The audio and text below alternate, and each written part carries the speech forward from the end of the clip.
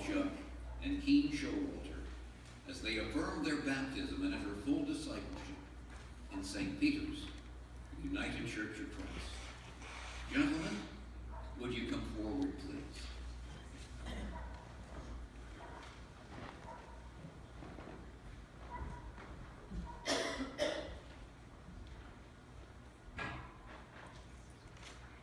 We are received into the church the sacrament of baptism.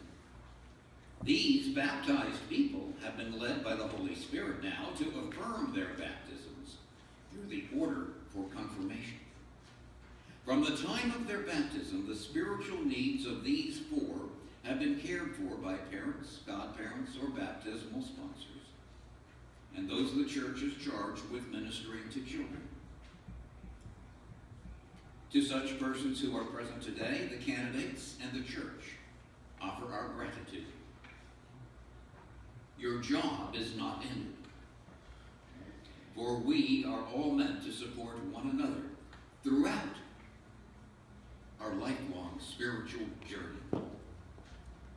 However, today, your charges claim for themselves a covenantal relationship with Christ and with his church, serving God with such gifts as the Holy Spirit has bestowed on them.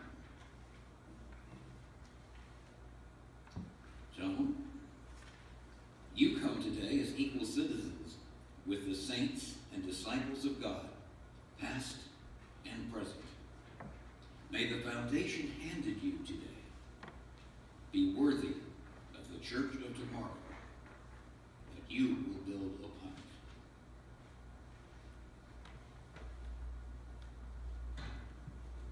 Jesse Bruning, do you desire to affirm your baptism into the faith and family of Jesus Christ?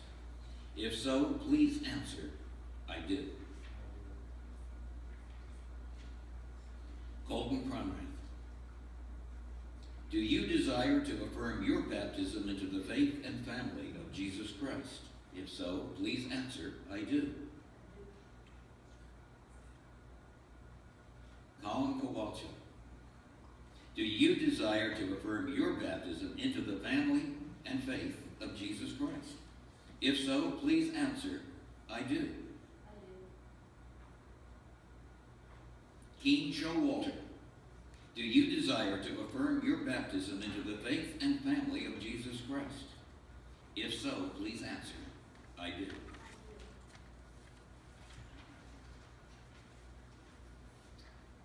To all of you, do you renounce evil and desire the freedom of new life in Jesus Christ, professing him to be Lord and Savior? If so, please answer, I do. Do you promise to be Christ's disciple and follow his teaching to resist oppression and to show love and justice as best you are able? If so, please answer, I do with the help of God. Do with the help of God.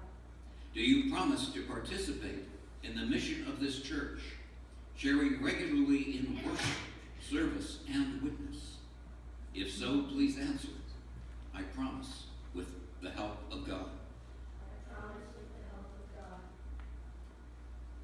All of us here, let us rise one and all in spirit and, as we are able in body, and affirm these disciples into the family of this church. We promise our continuing friendship and prayers as we share with you in worship the hopes and labors of this church. Would you remain standing, please? Let us together affirm the beliefs that bind us as family in the name of Christ. We will use the words of the statement of faith that is based on statements and writings of the members of this confirmation class. We believe in one God who is present in our lives today and always. We believe in Jesus, God's only Son and God himself,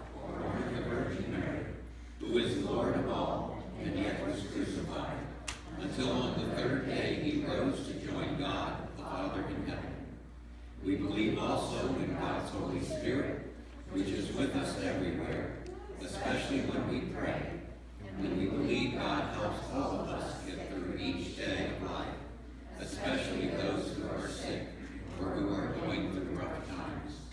As people who do both good and bad, we confess our sins and ask God to forgive us so that we may have eternal life in the Spirit. Kinds of people, and to follow the golden rule, which asks us to treat others as we would have them treat us. May we join in prayer for the candidates. Almighty God, who in baptism received these your servants into the church and forgave their sins, increase in them the gifts of your Holy Spirit. Grant love for others,